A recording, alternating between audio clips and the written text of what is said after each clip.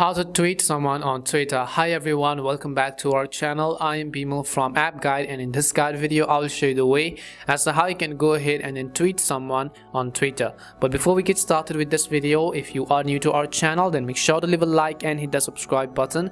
Without any further ado or delay, let us get started with today's video. Now first of all, just make sure that you have either downloaded or updated the Twitter application to the latest version. And you can do this by heading over to your respective app stores in the search box typing in Twitter and go ahead and simply either download or update the app. Once you have updated the Twitter application, now I want you to go over and then simply open it up. The next thing you want to make sure is that you are logged into your account and after you are logged in, you can see this is how it is actually going to look like.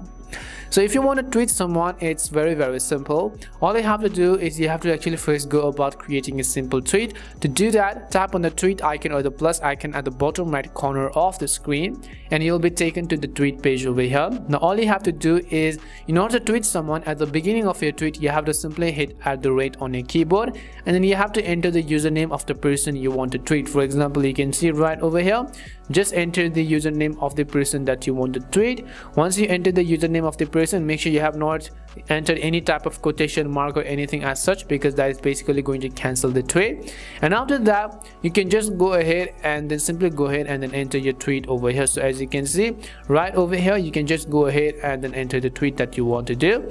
And all you have to do is you can just go ahead and add some pictures if you want. You can add some gifs and you can add some location. You could add some plus icons. You could mention more people. And all you have to do is to tap on the tweet button on the very top right corner of the screen in order to tweet someone on twitter.